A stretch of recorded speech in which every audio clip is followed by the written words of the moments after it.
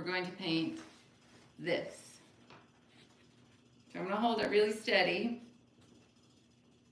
If you wanna take a screenshot, or else set them, hold it steady. Trying. Take a screenshot with your phone or control, I think it's control command four takes a screenshot on your laptop just so that you can have this referred to. I'm gonna leave it up here, which I feel like looks a little blurry. No, there we go. Okay, so I went ahead and painted the background dark blue. I used, um, hello, I used Farrow and Ball Hague blue. It's one of my favorite colors. And then, as usual, I'm gonna be using Golden Artist Acrylics, Titanium White, and then my three primaries because you can mix any colors you want with these three. So I'm trying to make it so you can see it and I'm not in your way. So we're gonna see how this setup goes. If anybody has any questions or anything, let me know.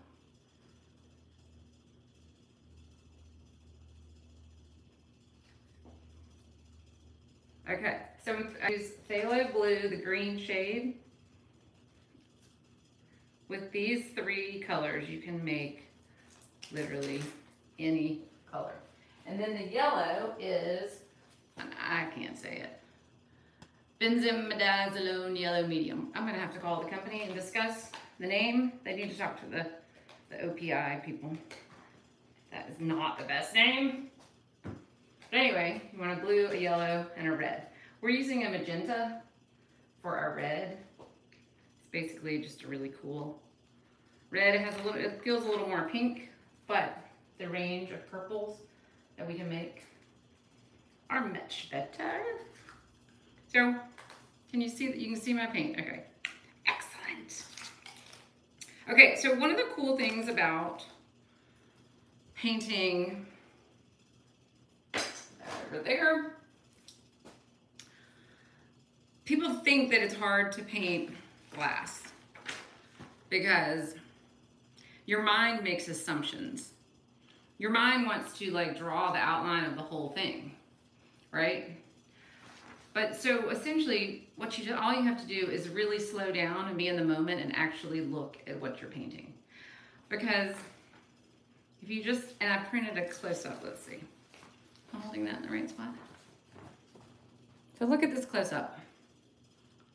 Basically very, very pale color. Then there's some spots where you just can't see that it's there you just ignore it. So it's not as hard as it looks. Okay, so let's start. When I mix my colors, I like to use at least a little bit of all three colors that are on here. It keeps them from being overly bright.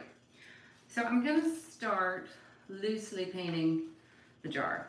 And I am gonna use a lot of white and a little bit, just a teeny bit of the blue. The blue really goes a long way. But to tone it down, I'm gonna have add in a little bit of the other two colors. It's already, it. and if it gets too, so let's say like right now it, get, it got a little too blue. You add the colors complement, and the complement of the opposite, which is also called the complement, is orange. See how it neutralizes it? Makes it a nice neutral. I feel like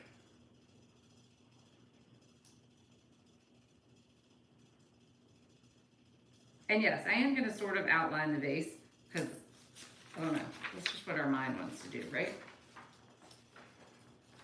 I'm going to look at this.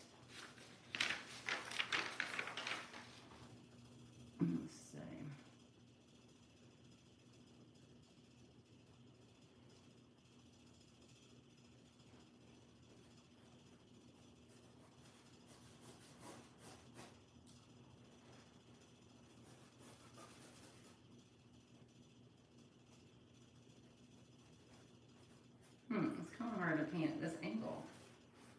But you know what? I'm gonna figure it out.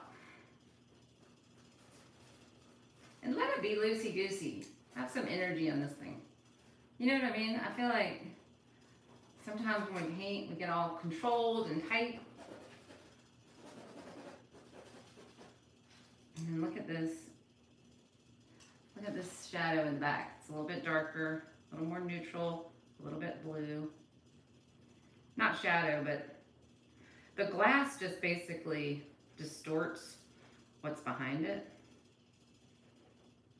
And the thing about painting glass is it depends on the light and what's happening in the room.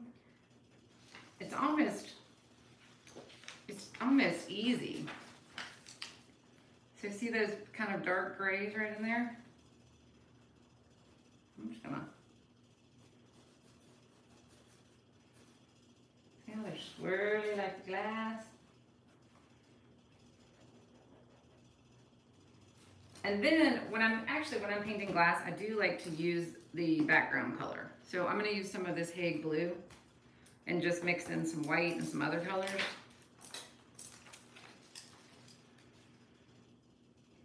I'm gonna put that on my palette. Is that totally blocking the mixing? Add a little white. You know what I mean? Because it kind of, and then right in here. Whatever's in the room comes through in the glass. And it takes, it does take a little bit of practice. But it's less white than you think. It's actually, it's less paint than you think. Like look right here. You can't even see.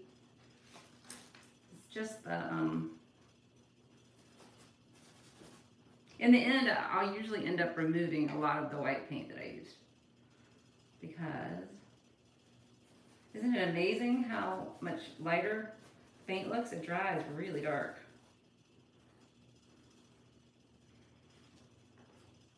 So just, you know, kind of loosey-goosey get some paint on there. Get the general shape of your vase, right? Because then we're going to come back in. Move that blue. I almost asked if you guys were hot. Because it's hot in the studio. I'm going to turn on the AC. Tell me if it messes with the sound. Okay, so now we're going to look closely. Let's do one of the stems. Okay, let me show you this.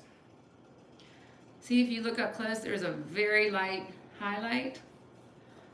And then there's that warm green and then a little bit cooler and then the real strong shadow. So your mind would tell you, oh, the stem, this whatever, this flower stem is just green. But it's not. We just saw it has three or four different colors. And I'm going to teach y'all something.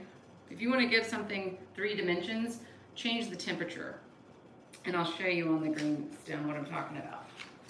Let's get a new brush. Let's get a brand new brush. Don't y'all like using a brand new brush? I do. I'm, I'm gonna move this because there's a good chance I will spill that.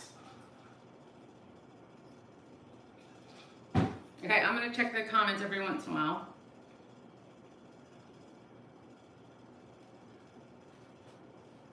Let me know if you have any questions. Okay, so let's start. I like to start with the middle tone. So let's make a green, tiny bit of blue, more yellow. And then to keep it overly bright from looking like it came out of a box of crayons, put a touch of the red in there. And yeah, this is a, a trial and error process. You know what I mean? Just keep practicing. And if you mess it up, try again. Don't you worry about it. Okay Let's paint one of these pretty stems. They look like big asparagus. Does anybody know what kind of plant this is?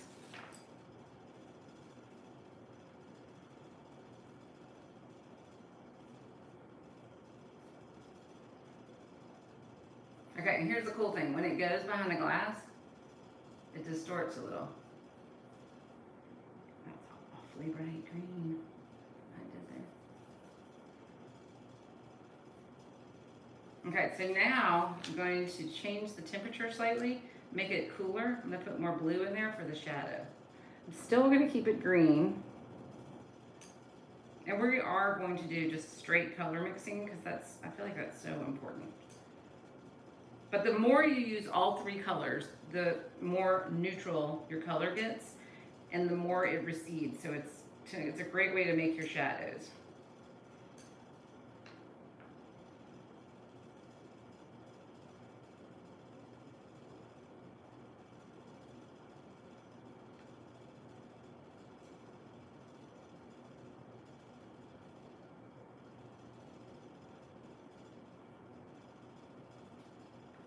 Okay, and then we can make highlight. So see how the shadow kind of makes it three-dimensional.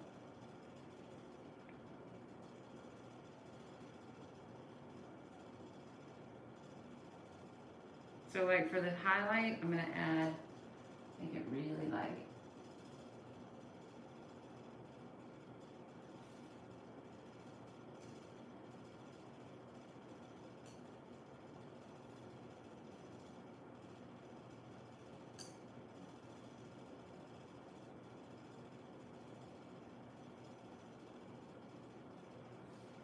And then the surface of the water, let's see, the surface is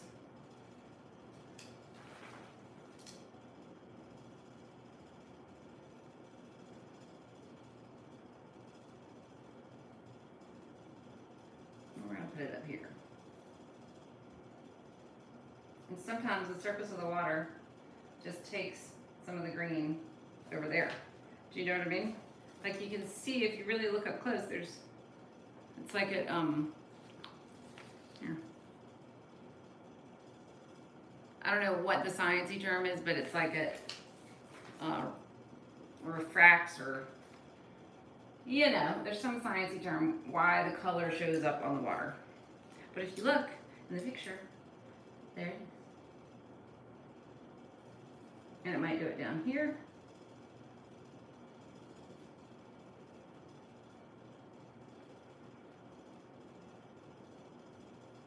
Now this blue, it needs to dry. It's going to get darker, I promise.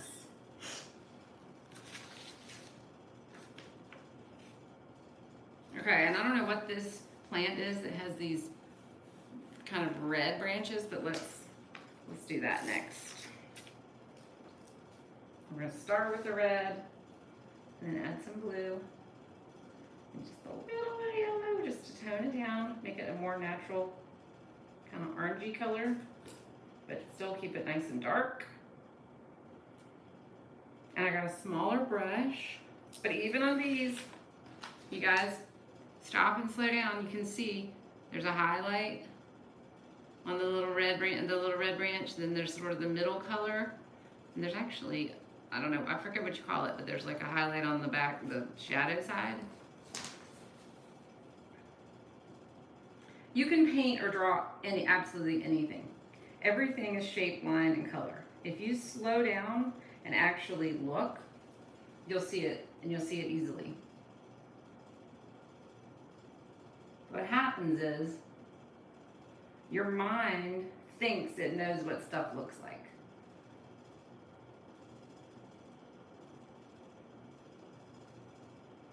And so it's sort of like if a little kid, not a little kid, an adult, we all do this, was going to draw a car, your brain would want to make the car tires perfectly round. But the only time the car tires are perfectly round are if you are laying on the ground at 90 degrees to that car. Every other time they're going to be some form of an elliptical. Be it like that.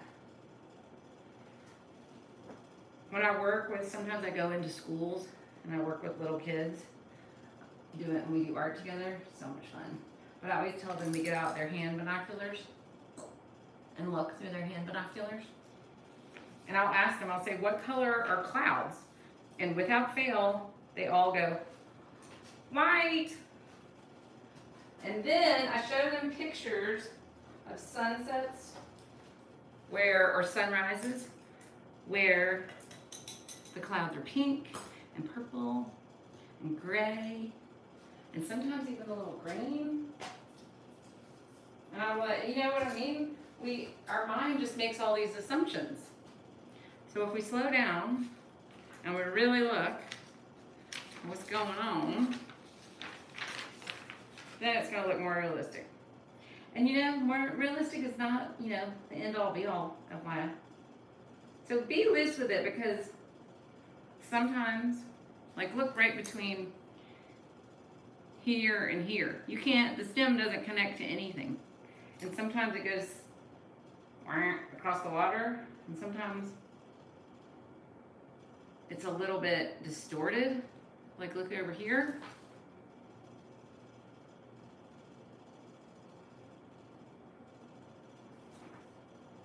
So then you can kind of have fun with it.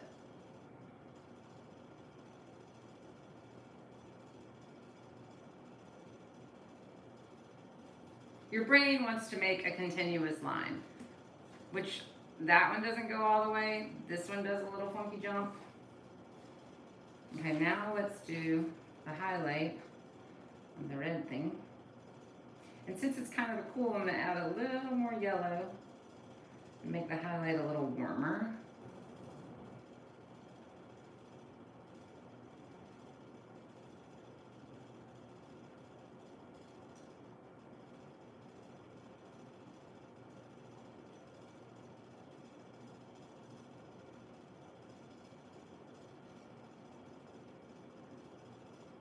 And you can always go back. I want you, what I want you to do is be brave because you can always go back and correct it. Oh, how's that working? My green looks a little bright.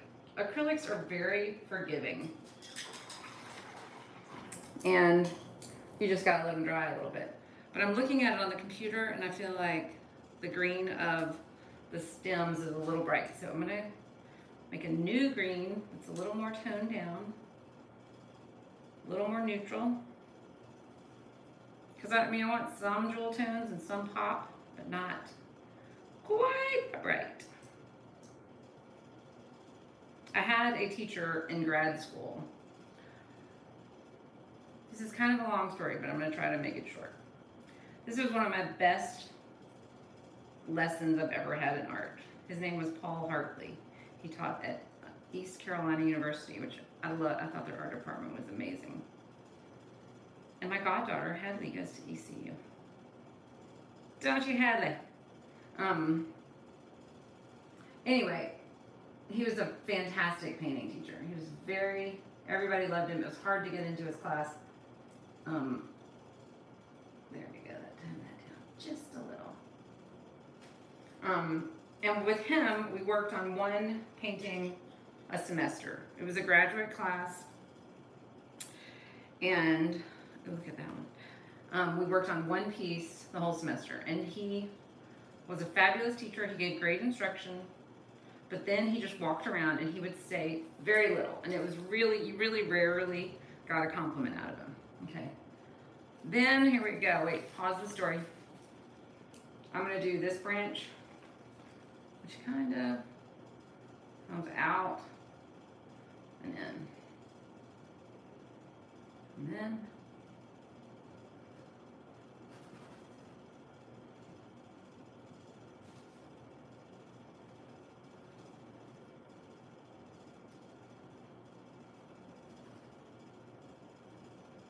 we're gonna put leaves all over this, don't worry. I mean, in mine, you know, I've been painting for a lot of years. And I still get like, ugh, I don't like how it's turning out. Mm. We gotta let go of that. We just gotta let go. Because it's not productive. So anyway, back to Paul Hartley. We did one piece a semester. He never gave out compliments. He was everyone's favorite teacher. And I worked on this piece probably for eight weeks. And we would have like our, I think our classes were like three hours long, the graduate seminars. We would just sit there and paint in total silence, and he'd walk around behind us and like observe what we were doing. And one time he stopped in front of mine, and he went, "Oh, mmm," and he made some positive sounding noises. You know, to the point like other people were looking over my shoulder to see what I was doing, and I was thrilled beyond belief. Now let's work on these little purple guys. I don't know what kind of flowers these are. But anyway, I was like, oh, so excited. And he's like, okay, you're getting somewhere. That was huge for him. I felt like he had like smooched me because it was such a, you know, big deal for him to say that. And he's like, I really am liking where this is going. And I was liking it too. I was excited. And then he goes, okay, get your gesso, paint over it, and start again. And I was like, what? And I've been working on it for more than a month. And I did not want to do that. And I was like, I'm going to go get another canvas. And he goes, nope, paint over it. Just start paint white totally over. Gesso is basically just cheap white paint. Paint over it and start over. And since I was, you know, a 20 year old, I was an adult. I did very normal thing. I burst into tears in front of the whole class. I was like, why? Know it's probably gonna take a picture. And he's like, nope, do it now. And I did, and I cried the whole time. And everybody else, you could tell there was some sympathy. And he looked at me and he said, if you do it once, you can do it again, and it'll be better the next time. And you you don't want to get locked up and trapped by success. When you feel like a piece is pulled off, you can't you can't just get stuck because then you'll be if you're in you'll be in fear that you'll never do it again. And I did. I painted it again after I stopped crying, and it was better. And he was right. And he's like, it'll you just can't walk around in fear of you know you know your creation, or you'll just stop. I just thought it was a great lesson. Kind of flowers are these? Anybody know? If you do know, will you mention it in the comments? Because I would like to know. So, I'm mixing up a dark, dark purple for these ones in the back.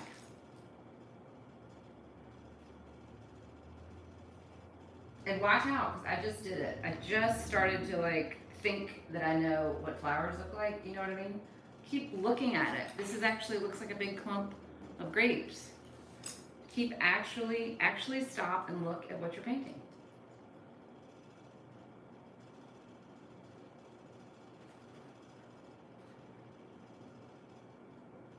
And you know, do it fast because I don't know. I think the energy comes through when you paint something fast. You know what I mean? Okay, now this to me is looking a little too turquoise. Are y'all feeling that? I might tone that down a little bit. But I'm also, I'm gonna go through and do a few more of these red branches and put, what are these? Okay, the green things go to the flowers, see?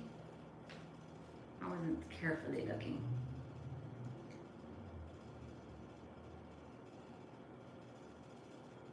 I like how flower arrangements these days are so, you know, wild and natural. They're not so orderly.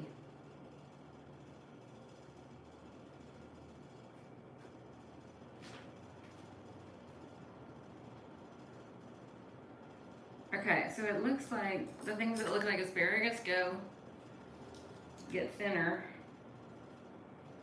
and have these flowers on.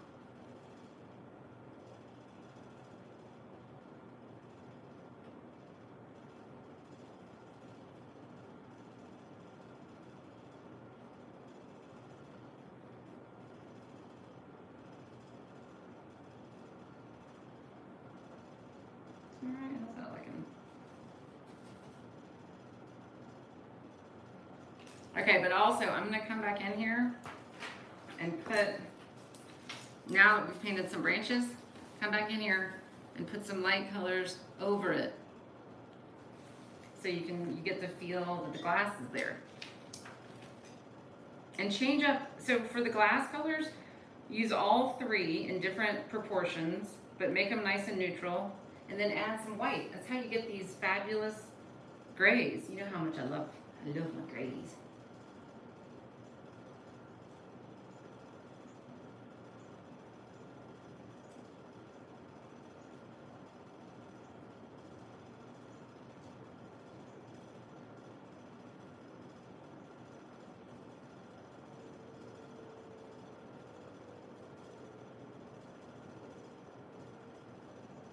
Okay, I didn't let that dry quite enough, so see how I drag that? I'm gonna just pause on that. But it's coming together. Okay. You guys, I would love to see. Oh, oh, here now the um.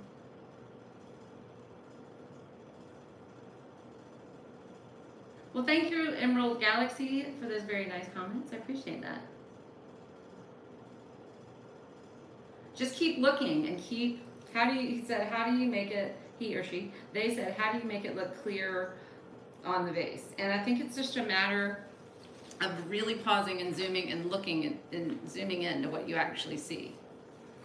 We're gonna pause on that because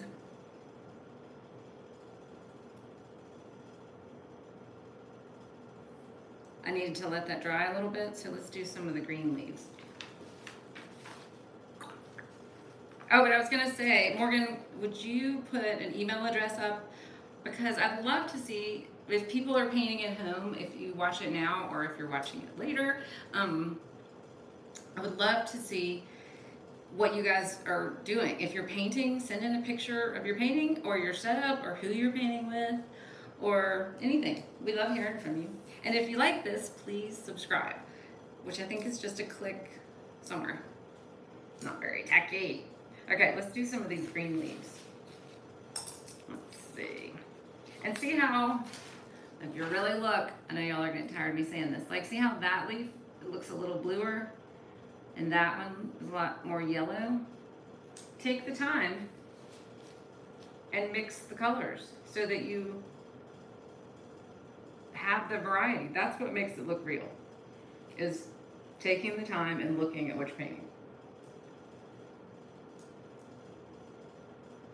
And see, I have a preset in my mind what leaves look like, so I gotta really look at these because there's some that are just super thin. But we know sometimes we get lazy, me especially. Like right now, I kind of feel like just doing that, da da da. But they they change the way the light hits them. There's some of them that are gonna look more yellow because the way they reflected the light, and they might be bending a little more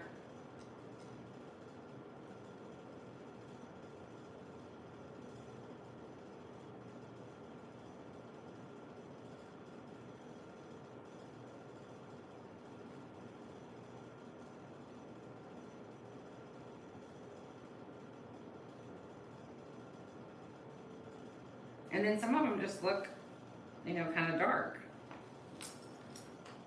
So what you could do is mix up a series, if you wanted to, you could mix a series of greens sort of in a row from more neutral to brighter. You know what I mean? Like a dark hunter green, like I'm gonna try to do now.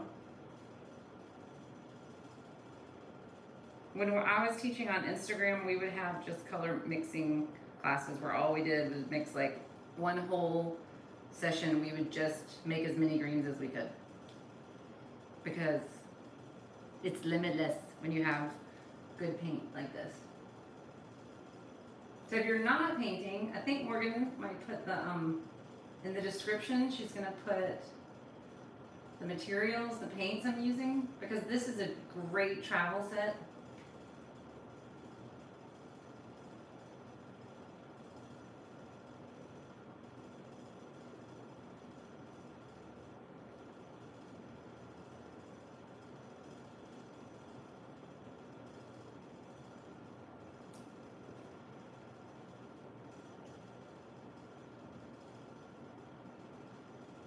But it's easy to get locked up and get all loose.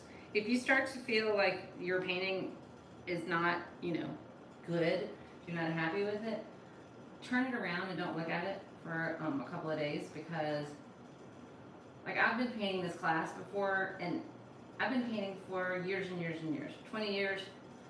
Um,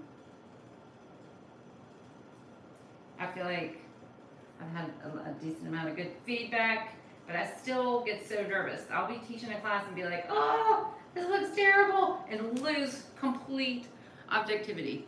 And if I, if I sometimes go back and look at it in the video, I'm like, oh, that looks good.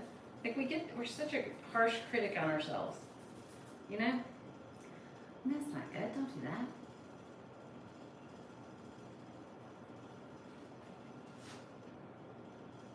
I'm kind of liking this. Okay, so just keep, I'm gonna, let's see.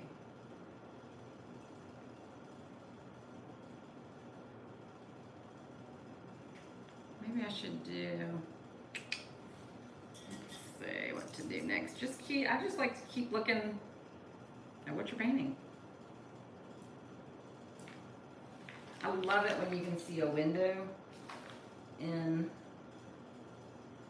reflections.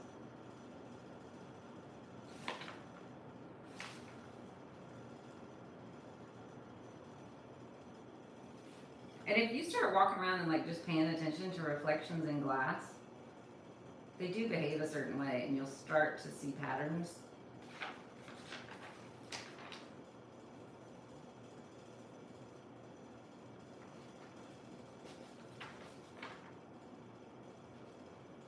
Or walk around and start looking at shadows. Just really start looking. Okay, let's see. I'm gonna put a highlight. Because that branch back there, this branch is getting a little lost for me. Now they're not all gonna have light on them, but I don't want them to disappear. You know what I mean?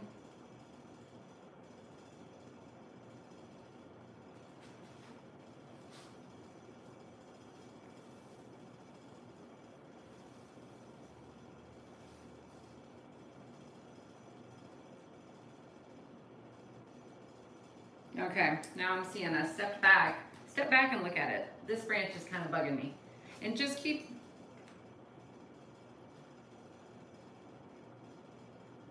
have fun with it. Go out in your garden and pick a bunch of flowers and then put a bright light on it and see what happens. Let's see, I think I need more yellow green. And if you mess it up, like Paul Hurley made me do, paint over it, start over. Get another canvas. I have so many paintings that have 10 paintings underneath them.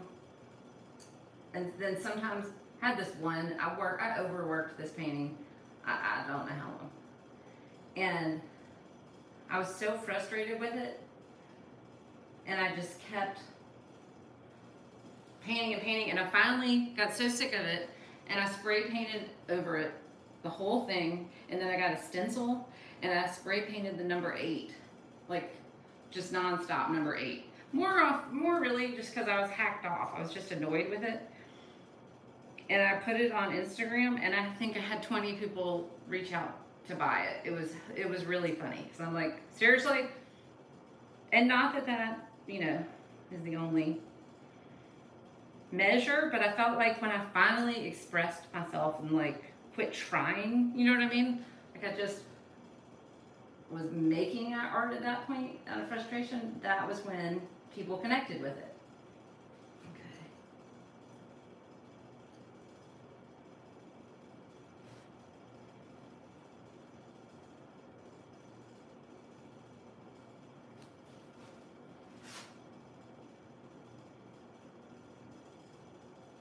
Okay. Okay, so we're gonna wrap it up.